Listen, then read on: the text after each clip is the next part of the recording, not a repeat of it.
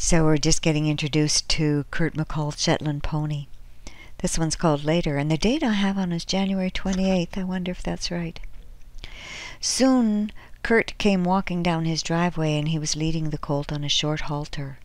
It was a silly thing for me to do, knowing how wild those horses have been. But when they got close to the road, I called out, Does the colt have a name?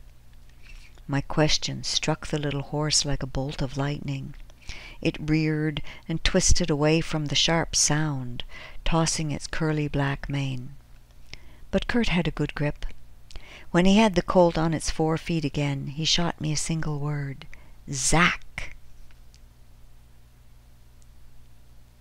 Oh, great, I'm at the end of the book. now at the back I have, a, I didn't put any copyright on it, but here I have a page that says copyright and it says, Thinking of stealing my stuff, are you, you beady-eyed little rat? Think you're going to, think you're cunning enough to creep into my pantry in the dead of night and snatch my gorgonzola cheese without springing the trap I've set for you? Think you can get away with it? If you're anything like the pack rats hubby and I had when we were living on Badger Mountain in the Shasta Valley of Northern California, you probably can. That's where Jerry got his hernia, crawling after you under our trailer home. It was dark in there and scary. He told me he saw red eyes. They might have been yours. Anyway, none of my material is copyrighted, so help yourself if you're so inclined. I am not going to bust a gut chasing after the likes of you.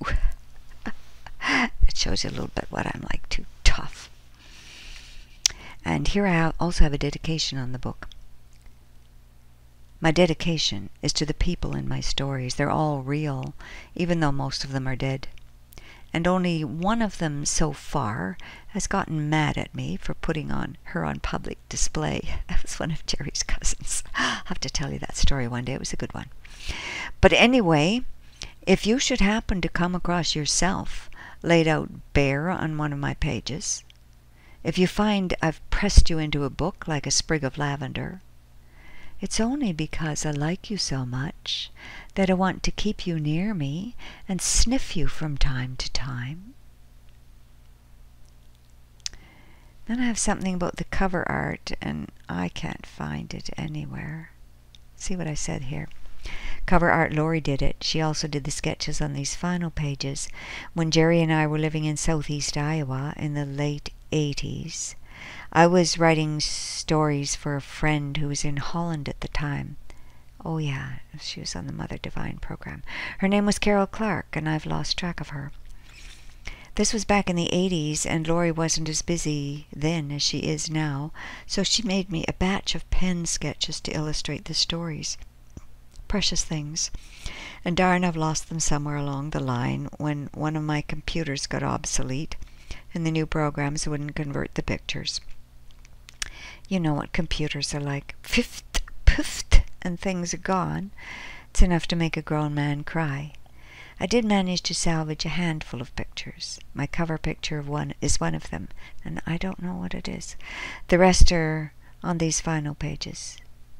You can see why I've been begging Lori to squeeze a little more time into her daily planner so she can make me another batch of drawings for a fantasy story I wrote for the grandkids when they were little.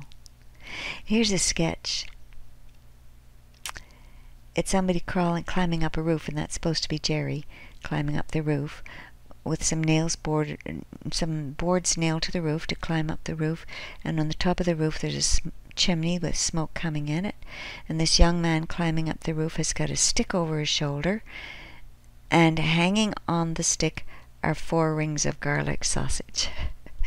and Jerry used to have to climb up there and hang that stick over the chimney so the sausage would get smoked. So we got to the end of that, five minutes here. Actually, I have another whole book of fly specks, but I'm only going to send you what you've got here. Enjoy. Love you guys. Bye for now.